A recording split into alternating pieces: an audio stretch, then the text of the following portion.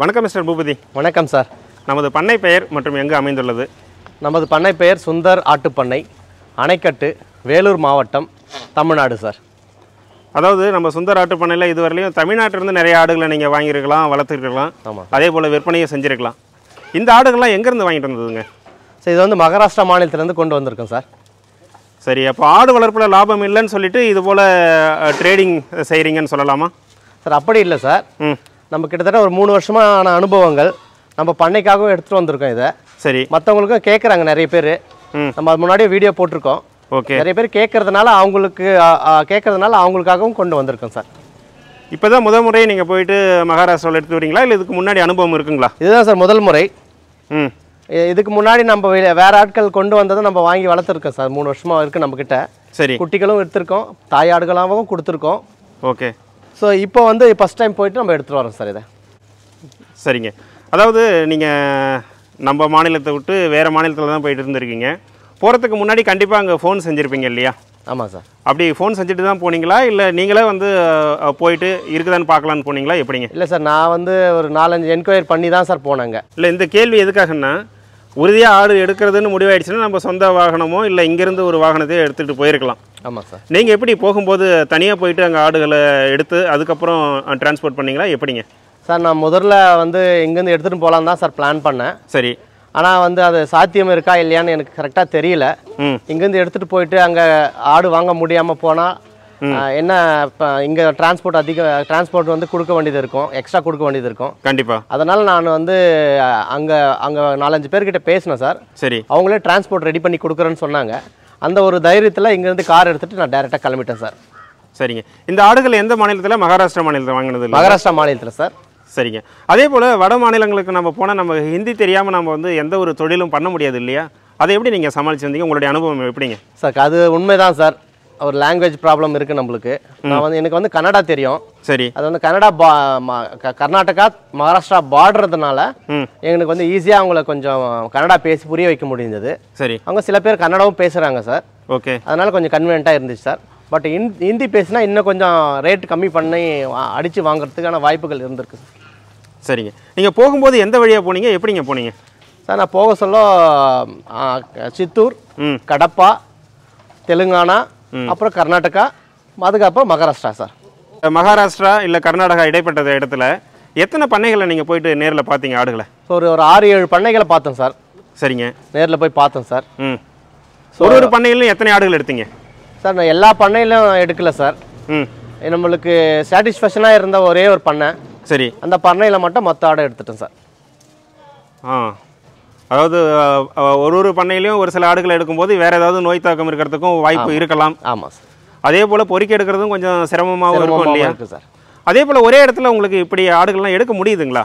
ஆமாம் sir. First அதாவது ஒரு சந்தைக்கு போனோம்னா இறைச்சிக்காக குட்டிகளை நம்ம வாங்கிட்டு வரோம். இன்றைக்கி வாங்கிட்டு வந்து நாளைக்கே கட்டிங் பண்ணுறோம் அது பிரச்சனை கிடையாது.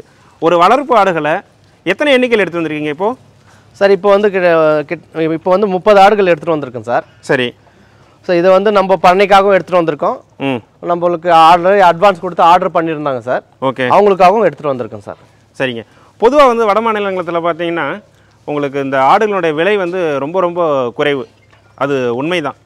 அப்படி இருக்கும்போது இந்த வளர்ப்பு ஆடுகளுக்குன்னு தனி விலை இறைச்சிக்காக வெட்டப்படும் ஆடுகளுக்குன்னு தனி விலை இருக்குங்களா? எப்படிங்க? ஆமாம் சார் இது இறைச்சிக்காக இருக்கிற ஆடுகள் தனி சார் ம். அதை வந்து நம்ம பொறுக்கி எடுக்க முடியாது. ஓகே. வளர்ப்புக்காக இருக்கிற ஆடுங்கள் விலை கூட தான் சார் கொடுக்குறாங்க. அங்கேயே கூட தான் இருக்குன்னு சொல்ல. வரீங்களா? சார். அதில் எந்த மாற்றமும் இல்லை சார். சரிங்க. இது எப்படிங்க? வெட்டுக்கும் வளர்ப்புக்கும் எப்படி நீங்கள் பிரிக்கிறீங்க? சார் வெட்டுக்குன்றது நம்ம பொறுக்கி எடுக்க முடியாது. அவங்க கொடுக்குற ஆடு தான் எடுத்துட்டு வரணும் சார். சரி. வெயிட் எவ்வளோ இருக்கு தரமா இருக்கா தரமா இல்லையா கறி வருமா அதெல்லாம் தெரியவே தெரியாது சார். ஓகே. அவங்க கொடுக்கறத நம்ம எடுத்துட்டு வரணும் சார். அதனால தான் சார் அது ரேட் கம்மியா இருக்கு. ஓகே. அதை எடுத்துட்டு வந்து நம்ம வளர்க்கவும் முடியாது சார். அப்படி வளர்த்தாலும் அதை வந்து நம்ம பூஸ்ட் பண்ணி மறுபடியும் ஒரு ஒரு மாசமா ரெண்டு மாசமா பூஸ்ட் பண்ணி அதை வச்சுட்டு இருக்கிற செலவுக்கு நம்ம நல்லா தரமான ஆடை வாங்கி ஒரு அதிக விலை இருந்தாலும் தரமான ஆடை வாங்கி வளர்த்துக்கலாம் சார். அதே நேரம் வயதான பெட்டை ஆடுகளுக்கு தான் வந்து குறைந்த விலையில் கிடைக்குதுன்னு சொல்கிறாங்களே அது அது உண்மை உண்மைதான் சார் உண்மைதான் சார். சரிங்க. அதாவது இப்போ நம்ம மாநிலத்தில் பார்த்தீங்கன்னா எந்த வயதுடைய ஆடுகளை மக்கள் விரும்புகிறாங்க பண்ணையாளர்கள்? நம்ம வளர்ப்புக்கு எடுத்துட்டு போறவங்க ம். ரெண்டு பல்லு பல் போடாதது கேட்குறாங்க சார். ஏன்னா அது கொஞ்சம் வெயிட் கம்மியாக இருக்குன்ட்டு. ரெண்டு பல்லு உள்ள ஆடுகள் கேட்குறாங்க நாலு பல்லு உள்ள ஆடுகள் கேட்குறாங்க சார். ஆறு பல்லு வந்து யாருமே வேணான்னு சொல்கிறாங்க சார். அதாவது அனுபவம் வாய்ந்த பண்ணையாளர்கள் ஆறு பல்லா இருந்தாலும் பரவாயில்ல கடமுளப்பா இருந்தாலும் பரவாயில்ல ஆடு ஆரோக்கியமாக இருந்தால் போதும்னு சொல்லி பார்க்குறாங்க ஆமாம் சார். அதே அதிகப்படியான பண்ணையாளர்கள் பார்த்தீங்கன்னா ரெண்டு பல்லு நாலு பல்லு கேட்குறாங்க ஆமாம் இதுக்கு காரணம் என்னன்னு பார்த்தீங்கன்னா ஆறு பல்லு கடை பல்லு வரலையும் வந்து வெயிட் கெயின் வந்து நல்லா கூடிக்கிட்டே போகும். ஆமாம் சார். ஸோ அப்படி போகும்போது அவங்களுக்கு பொருளாதார ரீதியாக வந்து அதிக செலவுகள் வரும். ஆமாம் சார் அப்படி கூட பார்க்கலாம் இல்லைங்களா? கண்டிப்பாக சார் இப்போ நான் நான் வந்து கடைப்பல் போட்டிருக்கு சார் எட்டு பல் போட்டாச்சு. அதை கொண்டு வந்திருக்கு சார் பாருங்கள் சார் அதை நான் கொண்டு வந்திருக்கேன். ஏன்னா எனக்கு முன் அனுபவங்கள் முன் அனுபவம் இருக்கிறதுனால சரி. இப்போ நான் வந்து அந்த பல் பார்க்கல. அதனுடைய குவாலிட்டி தான் பார்த்துருக்கேன். அது செனையா இருக்கு. இன்னும் ஒரு இருபது நாள் குட்டி போடும். கண்டிப்பாக எப்போ வந்து ஒரு தரமான தாயாடு தரமான கிடாய் இருக்கோ அதுலேருந்து குட்டிகள் பிறக்கும் குட்டிகள் வந்து நல்லா இருக்கும் அந்த குட்டி வந்து பார்த்தீங்க அந்த ஆடு வந்து பார்த்தீங்களா சார்? கிட்டத்தட்ட எழுபத்தஞ்சு கிலோ இருக்கு சார். பெட்டையாடு எழுபத்தஞ்சு கிலோ எழுபத்தஞ்சு கிலோ சார். அது ஒஸ்மனாபாடி தானே இல்லை வேற இடங்களா? பாடி sir. Full full pregnant sir. சரிங்க சரிங்க. சரிங்க. நீங்கள் அதாவது கர்நாடகா தெலுங்கானா மகாராஷ்டிரா இங்கெல்லாம் போயிருக்கீங்க இல்லையா? அங்கேயும் நம்மளை போல விவசாயம் பண்ணுறாங்களா எப்படிங்க இருக்காங்க அங்கெல்லாம்? சார் நம்மளோட அனுபவம் எப்படி? நம்மளோட அதிகமாக விவசாயம் பண்ணுறாங்க சார் அங்கே. அப்படிங்களா? அங்கே மாடெல்லாம் வச்சு தான் விவசாயம் பண்ணுறாங்க சார் என்ன கூட. ட்ரெடிஷ்னலாக பண்ணிட்டு இருக்காங்க சார். நாட்டு மாடுகளை வச்சு நாட்டு மாடுகளை வச்சு விவசாயம் பண்ணுறாங்க சார். சரிங்க. என்னென்ன பயிர்கள் பிரதானமாக செய்கிறாங்க சார் அங்க அவங்க வந்து வந்தா அந்த கோணச்சோளம் பண்ணுறாங்க சார் மெயினாக ஓகே. கோணச்சோளம் கோதுமை மக்காச்சோளம் பண்ணுறாங்க ஓகே. அப்புறம் பார்த்தீங்கன்னா இந்த உளுந்து துவரை அதுக்கப்புறம் வந்து மூக்குக்கடலை. சரிங்க. இந்த கொண்டக்கடலை கொண்டக்கடலைன்னு சொல்கிறாங்களே அது சார். சரிங்க. நீங்கள் ஆடுகளை வாங்கிட்டு வந்திருக்கீங்க இல்லையா? இது வியாபாரிகிட்ட இருந்து வாங்கிட்டு வந்தீங்களா? இல்லை விவசாயிகிட்ட இருந்து வாங்கிட்டு வந்தீங்களா? சார் என்னால் விவசாயிகளை ரீச் பண்ண முடியல சார். ஏன்னா. தரமான ஆடுகள் வந்து ஒரு ஆடு ஒரு இடத்துல கிடைக்கும் சார். ஒரு கிட்டத்தட்ட ஒரு முப்பது நாற்பது கிலோமீட்டர் இடத்துல இன்னொரு ஆடு கிடைக்குது சார். சரி. சார் நம்மளுக்கு அந்த இடத்துல பொறுக்க முடியல சார். ஏன்னா நம்மளை வந்து கொஞ்சம் ஈஸியாக வந்து ட்ராவல் பண்ணி போக முடியல சார் அந்த இடத்துல. கூடுதலாக சொல்ல போனால் மொழி பிரச்சனையும் இருக்குது இருக்கு சார். ஒரு ஒரு ஆடுகளாக எடுத்துக்கிட்டு நமக்கு சொந்த டிரான்ஸ்போர்ட்டும் இல்லை. அங்கே ஒரு வாடகை வண்டியை பிடிச்சி மக்களை நம்ம சந்திக்கிறதுல சிரமமாக இருக்கு சிரமமாக இருக்கு சார். சரிங்க. அதாவது நீங்கள் இப்போ ஒரு விவசாயிகிட்ட நேரடியாக வாங்குனீங்கன்னா அங்கே இருக்கிற உள்ளூர் விலையில் நீங்கள் வாங்கியிருக்கலாம். அதே ஒரு வியாபாரிகிட்ட போய் வாங்கும்போது கண்டிப்பாக அவங்க ஒரு கூடுதல் தொகையை வைக்க தானே செய்வாங்க. அதை பற்றி உங்களுடைய அனுபவம் எப்படிங்க?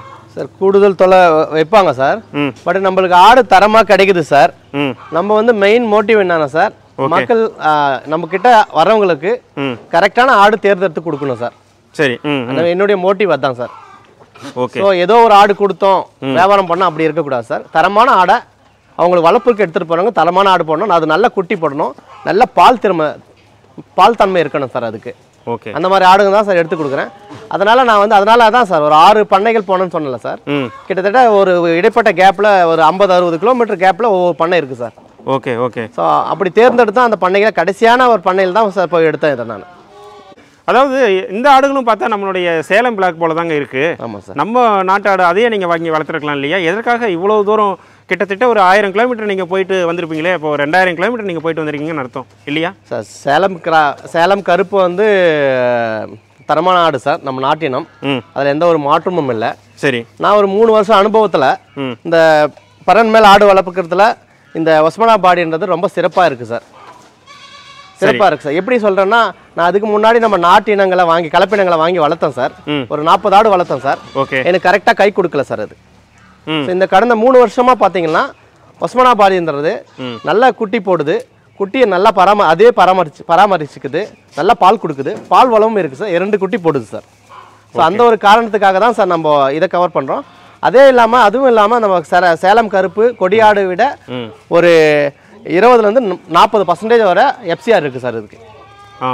வெயிட் கெயின் நல்லா இருக்கு. ஆமாம் சார் அதாவது வணிக ரீதியாக கமர்ஷியலாக பண்ணுறவங்களுக்கு இது செட் ஆகும்னு செட் ஆகுது சார் லோக்கல் மார்க்கெட்டை ம். ஃபுல்ஃபில் பண்ண முடியுது சார் சரிங்க. அதாவது அங்கெல்லாம் பார்த்தீங்கன்னா இது முழுக்க முழுக்க மேய்ச்சல் முறையில் தான் இருந்திருக்கும். ஆமாம் சார் அதே நேரம் வந்து அவங்க இந்த ட்ரேடர்ஸ் இருக்காங்க இல்லையா? வியாபாரிகள் இடைத்தரகர்கள். அவங்க ஒரு இடத்துல வந்து வளர்க்கும் போது அவங்க எப்படி பசுந்தீவனத்தை எப்படிங்க கொடுத்து வளர்க்குறாங்க? அதை பற்றி உங்களுடைய ஏதாவது அனுபவம் இருக்கா? புது அனுபவம்? அந்த ட்ரேடர் வந்து கொண்டு வராங்கன்னா ஒரு ஆடு கொண்டு வராங்களோ விவசாயிக்கிட்ட இருந்து ம். அவங்க ஃபுல் அண்ட் ஃபுல் வந்து சார் இந்த உளுந்து துவர துவர பொட்டு இருக்குல்ல சார்? ஆமாம் துவர பொட்டு கொடுக்குறாங்க சார். ம். அதுக்கப்புறம் அதுக்கு வந்து க்ரீன் ஃபாடராக என்ன பண்ணுறாங்கன்னா சார் இந்த காலிஃப்ளவரோட வேஸ்டேஜ் இருக்குல்ல சார்? ஓகே. அங்கே வந்து காலிஃப்ளவர் நிறைய விவசாயம் பண்ணுறாங்க சார். அந்த வேஸ்டேஜ் எடுத்துட்டு வந்து க்ரீன் ஃபாடராக கொடுக்குறோம் சார்னு சொல்கிறாங்க சார். மற்றபடி வேறு எதுவும் க்ரீன் ஃபாடர் அதிகமாக கொடுக்கறது இல்லை சார் அதாவது அவங்கள வந்து அந்த பண்ணையில் இருக்கிறது ஓரிரு வாரம் தான் அந்த நேரத்தில் பெருசாக பசுந்தை விடும் தேவையில்லைன்னு கூட சொல்லலாமா? அதே நேரம் அந்த தழைகளும் வந்து அவங்களுக்கு இலவசமாக கிடைக்கும். அது ஃப்ரீயாக கிடைக்குது சார். வேஸ்டேஜ் ம். அவங்களே விவசாயிங்களே வேஸ்ட் பண்ணுறத அவங்க போய் எடுத்துகிட்டு வந்துடுறாங்க சார். சரிங்க சரிங்க. அடுத்தது உங்களுக்கு என்னதான் முன் அனுபவம் இருந்தாலும் இந்த ஆடு தேர்வு செய்கிறதுலன்னு பார்த்தீங்கன்னா அது ஒரு தனி திறமை வேணும். ஆமாம் சார். எப்படிப்பட்ட ஆடுகளை நீங்கள் வந்து தேர்வு செய்கிறீங்க சார், எப்படி பார்க்குறீங்க ஒரு ஆடு ஆரோக்கியமாக இருக்குன்னு எப்படி நீங்கள் கண்டறியறீங்க? சார் அதில் ஆரோக்கியமாக இருக்கிறது கண்டறியது என்னென்ன சார் ம். அந்த ஆய்க்கு ஏதாவது நான் சார் ஆட்டுக்கு ஏதாவது நோய்கள் இருக்கான்னு பார்க்கணும் சார் ஃபஸ்ட்டு ம். தனிமையாக போய் நின்று இருக்கான்னு பார்க்கணும். சரி. வாயை திறந்து பார்க்கணும் சார். உள்ளே ஏதாவது புண்ணு இருக்கான்ட்டு. கால் குழம்புல பார்க்கணும் சார். ஓகே. முதுவை ஃபுல்லாக தேய்ச்சி பார்க்கணும் சார். ஓகே. மடியை பார்க்கணும் சார். இல்லைன்னா ஒரு ஒரு மடியை வந்து ஃபெயிலியர் ஆகிட்டு இருக்கேன் சார். சரி. அந்த மடியை பார்க்கணும் சார். பால் கறந்து பார்க்கணும் சார். இந்த மாதிரி வேணா வகையில் நாலஞ்சு வகையான அந்த பிரச்சனைகளை நம்ம அறிகுறியை அறிகுறி தம்பிடுச்சுன்னா அந்த ஆடு எடுக்கக்கூடாது சார். அந்த மாதிரி வந்து நாங்கள் ஃபுல் அண்ட் ஃபுல் பார்த்து நிதானமாக பார்த்து பொறுமையாக நம்ம கொண்டு வரோம் சார் இதை. கண்டிப்பாங்க. அதாவது ஆட்டுக்கு தடுப்பூசி போட்டிருக்காங்களா இல்லையான்னு கண்டறியறதுங்கிறது நமக்கு தெரியாத. ஒரு டாக்டர்கள் கண்டுபிடிக்கலாம். அதே போல் ஒரு ஆடு ஆரோக்கியமாக இருக்கா இல்லையான்னு பார்த்தீங்கன்னா இந்த ஆட்டோட கண்ணை வந்து பார்ப்பாங்க. ஃபமாச்சா ஸ்கோர்னு சொல்லுவாங்க. அதில் ஒரு அஞ்சு ரேட்டிங் சொல்கிறாங்க ஓகே அதாவது வெளிர் இளம் சிவப்பு. அப்படி அந்த சிகப்பாக இருக்கும் பட்சத்தில் அந்த ஆடுகள் நல்லா ஆரோக்கியமாக இருக்குது ஓகே அதாவது ஆடுகள் நல்லா நீரோட்டமாக ரத்த ஓட்டமாக இருக்கா அப்படிங்கிறது ஒரு ஓவர்வியூவாக பார்க்குறதுக்கு அது பார்க்கலாம் நீங்கள் கண்டிப்பாக அடுத்த கட்டமாக நீங்கள் அதை பற்றி கொஞ்சம் ஸ்டடி பண்ணிவிட்டு அடுத்த லெவலுக்கு அதை நீங்கள் கண்டிப்பாக கண்டிப்பாக சார் சரிங்க. அடுத்தது பார்த்தீங்கன்னா இந்த ஆடுகளை நீங்கள் தேர்வு செஞ்சிட்டீங்க முப்பது ஆடுகள் தேர்வு செஞ்சிட்டீங்கன்னு சொல்லிட்டீங்க. எவ்வளோ நேரத்தில் அங்கேருந்து நம்ம பண்ணைக்கு வந்தீங்க?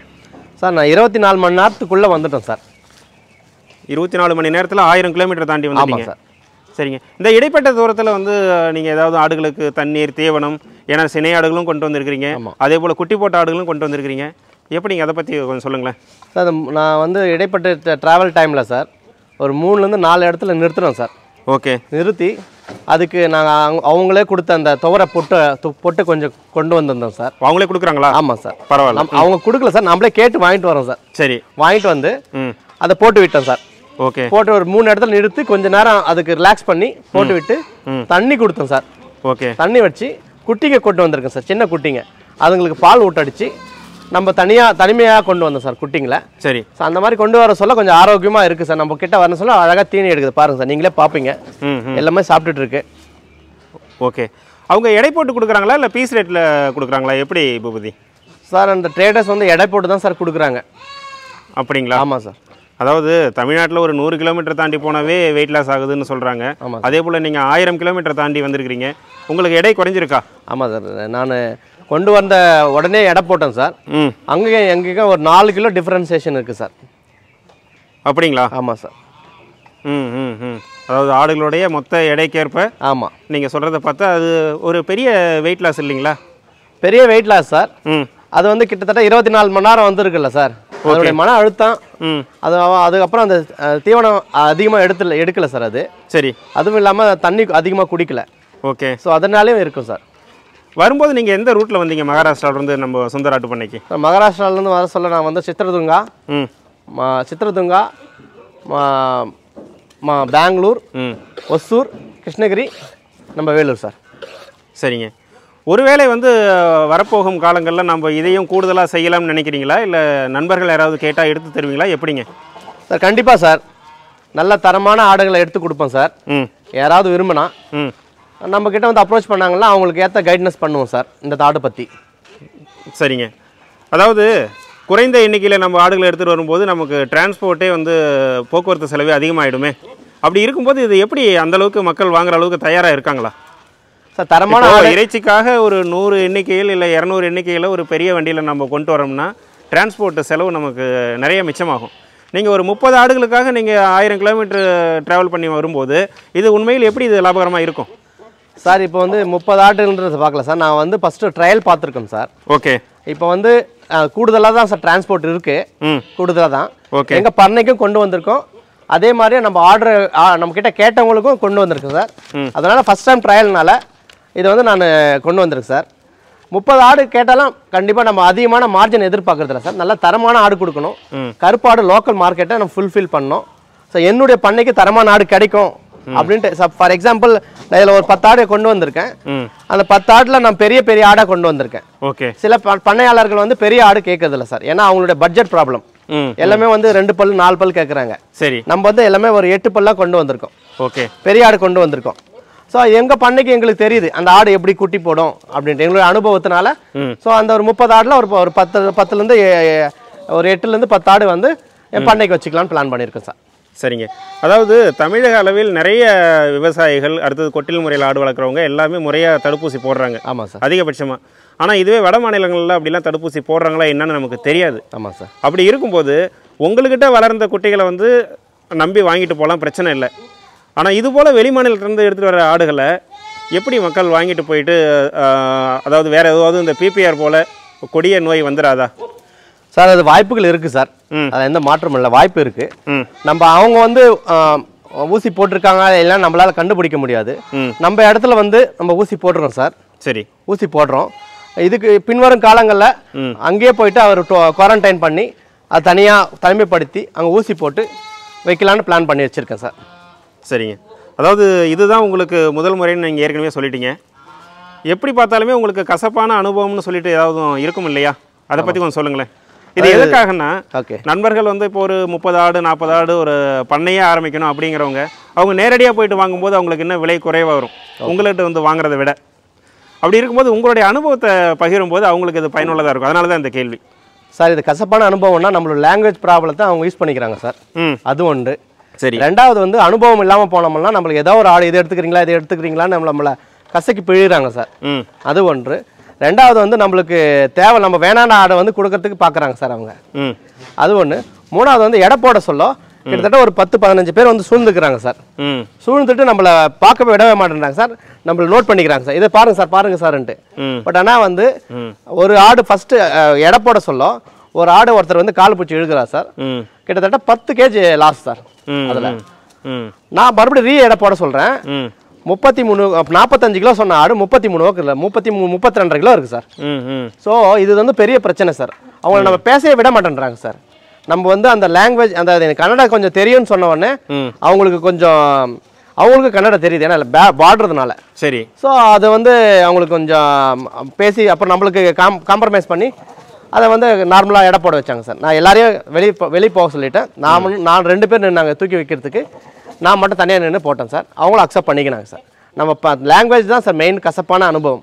அடுத்தது நண்பர்கள் மத்தியில் பரவலான கருத்து பார்த்தீங்கன்னா ஆடு வளர்க்குறத விட நம்ம ட்ரேடிங் பண்ணனா அதை விட லாபமாக இருக்கும். நமக்கு வந்து பெரிய அளவில் பசுந்தேவன உற்பத்தியும் தேவையில்லை. நம்ம கைமாற்றி விட்டாவே அதில் ஒரு கணிசமான லாபம் வருதுன்னு சொல்கிறாங்களே இதை பற்றி உங்களுடைய அனுபவம் எப்படி? சார் இப்போ இருக்கிற சூழ்நிலைக்கு கைமாற்றி கைமாற்றி விடுற விஷயங்கள் நல்ல விஷயம் தான் சார் தப்பு கிடையாது. பட் எல்லா டைமும் அமையாது சார். ஒரே விஷயம். ஒன்று நீங்கள் கறிக்கடை வச்சுட்டு இருக்கணும் ம். கறிக்கடை வச்சுருந்தா மட்டும்தான் இது சாத்தியம் சார். கறிக்கடை இல்லாமல் ட்ரேடிங் பண்ணுற நேரங்கன்னா கண்டிப்பாக அது லாஸ்ட்டில் தான் சார் முடியுது. என்னுடைய எக்ஸ்பீரியன்ஸில் சொல்கிறேன் அது லாஸ்ட்டில் தான் சார் முடியும். சரிங்க. அடுத்தது இந்த வட மாநிலங்களில் மட்டும் எப்படிங்க இந்த ஆடினுடைய விலை ரொம்ப கம்மியாக இருக்குது சார் வட மாநிலத்தில் எப்படி விலை கம்மியாக இருக்குன்னா சார். அவங்களுக்கு வந்து லேண்ட்ஸ்கேப் அதிகம் சார். சரி. அந்த லேண்ட்ஸ்கேப் அதிகனால அவங்க வந்து அப்படியே மேய்ச்சலே விட்டு வளர்க்குறாங்க சார். அது ஒரு காரணம். ரெண்டாவது வந்து எந்த ஒரு செலவும் இல்லை சார் அவங்களுக்கு. அவங்களோட உடல் உழைப்பு மட்டும்தான் சார் செலவு அவங்களுக்கு. ஓகே. மற்றதெல்லாம் அவங்களுக்கு லாபம். அப்படி இருக்க சொல்ல அவங்களுக்கு கம்மியாக கொடுக்குறதுனா ஏன்னா நிறைய ஆடுகள் வளர்க்குறாங்க. அவங்களுக்கு உடனே சேல் பண்ணி வருமானத்தை பார்க்குறாங்க சார். அந்த ஒரு காரணத்துக்காக தான் சார் அங்கே கம்மியாக கிடைக்குது. பட் ஆனால் தரமான ஆடுகளும் அவங்கேயும் இப்போ வந்து டிமாண்ட் டிமாண்ட் பண்ணுறாங்க சார். சரிங்க. ம் ம். பொதுவாக ஒரு பதினஞ்சு இருபது வருடங்களுக்கு முன்னாடிலாம் பார்த்தீங்கன்னா இந்த பெட்டை ஆடுகளுக்கு விலையே இருக்காது. ஆமாம் சார். கிடாக்களுக்கு மட்டும்தான் விலை. ஆமாம் சார். அதே போல் வட மாநிலத்தில் வந்து எப்படி? இதே நிலைமை தான் இருந்துச்சு. அதாவது ஒரு பத்து பதினஞ்சு வருஷத்துக்கு முன்னாடி நம்மளுடைய நிலைமை தான் இப்போ அங்கே இருக்கா? எப்படிங்க? அதாவது கிடாக்களுக்கு விலை அதிகமாக பெட்டையாடுக்கு விலை அதிகமாக சார் அப்படியே தமிழ்நாடு தமிழ்நாடு நம்ம தமிழ்நாட்டில் வந்து பெட்டாடுகள் வந்து விலை அதிகம் சார். அங்கே வந்து கெடாக்கள் விலை அதிகம் சார். கெடாவே கிடைக்கல சார். நான் வந்து ஒரு ஒரு பத்து கெடா கேட்டேன் சார். நம்ம ஆடி மாதத்துக்கு ஆளுங்களுக்கு சேல் பண்ணலாம். ஒரு இருபது கிலோ உயிரிடையில ஒரு இருபது கிலோன்னு கேட்டு நம்ம வளர்த்து விற்கலான்னு கேட்டேன் சார். சரி. அந்த ரேட் நம்மளால விற்கவே முடியாது சார் இங்கே. ம். ஸோ அதனால் கொண்டு வராத விட்டுட்டேன் சார். சரிங்க. அதாவது பொதுவாக வட மாநிலங்களில் நீங்கள் ஏற்கனவே சொன்னது போல் விவசாயமும் பண்ணுறாங்க ஆமாம் சார். முழுக்க முழுக்க அந்த விவசாய கழிவுகளை ஆடுகளுக்கு பிரதானமாக பிரதானமாக கொடுக்குறாங்க ஆனால் நாம் ஆடுகளுக்கு பிரதானமாக தீவனத்தை உற்பத்தி செய்யணும் தீவனை உற்பத்தி பண்ணுறோம் சார். அதெல்லாம் செலவுகள் அதிகமாகுது சார். அடுத்ததுங்க பூபதி எப்படி நீங்கள் குறைஞ்சது ஒரு மூன்று நாட்களாவது நீங்கள் வந்து கர்நாடகா தெலுங்கானா மகாராஷ்டிரா அப்படி சுற்றிருப்பீங்க அங்கே யாராவது கொட்டில் முறையில் ஆடு வளர்ப்பு பண்ணுறாங்களா இன்னமும்? சார் அங்கே ஃபுல் அண்ட் ஃபுல் மேய்ச்சலில் தான் இருக்குது சார். கொட்டில் வளர்ப்பே இல்லை சார். அப்போ தமிழ்நாட்டில் தான் கொட்டில் முறை ஆடு வளர்ப்புன்னு சொல்ல வரீங்களா? ஆமாம் சார். ம் ஒருவேளை டவுன் அண்டு சிட்டி சைடில் இருக்கலாம். இப்போ பெங்களூருக்கு பக்கத்தில் அதுபோல் அஹ், பரண்மேல் ஆடு வளர்ப்பு இருக்கலாம். நம்ம யூடியூப்லேயும் ஒரு சில வீடியோக்கள் பார்க்க முடியுது. இருக்கலாம் சார். ஆனால் அவங்க தரையில் தான் முழுக்க முழுக்க வளர்க்குறாங்க இல்லைங்களா? ஆமாம் சார். நம்ம பயணம் பண்ணது எல்லாமே வந்து வில்லேஜ் சைடு தான் சார். டிபிகல்ட் ரூரல் ரூரல் ஏரியாவில் தான் சார் பண்ணோம் நம்ம. சரி. அப்போ அங்கே வந்து யாருமே வந்து அதிகமாக செலவு பண்ணல சார் பண்ணைக்காக. நம்ம இங்கே தமிழ்நாட்டில் செலவு பண்ணுற மாதிரி அவங்க யாரும் பண்ணைக்காக அதிகமாக செலவு பண்ணல. ஆடுகள் வந்து பார்த்திங்கன்னா அவங்க வந்து அதிகமாக வளர்க்கல சார். ஒவ்வொருத்தர்கிட்டயும் வந்து முப்பது ஆடு நாற்பது ஆடு ஐம்பது ஆடு அந்த ரேஞ்சில் தான் இருக்குது சார். அதிகப்படுத்திக்கல சார் அவங்க. சரி சரி. அதாவது அவங்களுக்கு எந்த அளவுக்கு நிலம் இருக்குதோ அதில் விவசாயம் செய்து அதனுடைய விவசாய கழிவுகளை பிரதானமாக கொடுக்குறாங்க. ஆடுகளுக்காக அவங்க பெருசாக மெனக்கடலை. ஆனால் அதே நேரம் அவங்களுக்கு நல்ல ஒரு வருமானமும் வீட்டுக்கு ஈட்டி கொடுக்குது. அதே நேரம் அவங்களுடைய வாழ்வாதாரமும் அங்கே அந்த அளவுக்கு தான் இருக்கு. அந்த பண தேவையே போதுமாக இருக்காங்க. நாம முந்நூற்றம்பது ரூபாய்க்கு விற்றா நமக்கு கட்டுப்படி ஆகலைன்னு நினைக்கிறோம். அவங்க இரநூத்தம்பது ரூபாய்க்கு விற்றா லாபம்னு நினைக்கிறோம் லாபம்னு நினைக்கிறாங்க சார். நிச்சயமா பூபதி. நம்மளோட நிறையா விஷயங்களை பேசியிருக்கிறீங்க. உங்களுடைய நேரத்திற்கு மிக்க நன்றிங்க. Thank you sir